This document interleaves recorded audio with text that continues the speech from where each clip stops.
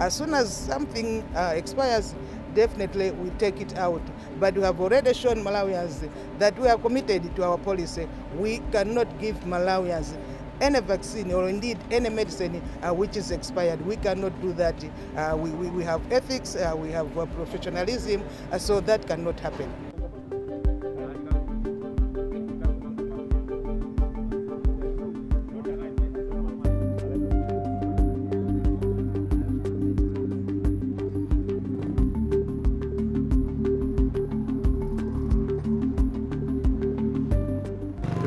Kukana kwa south africa kuti dziko kwambiri kusiyana ndi ife ngati iwo aja anthu awo aja anakana anaona and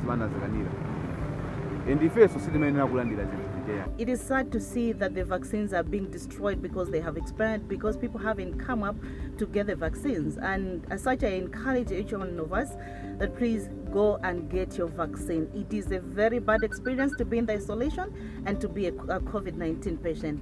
うん。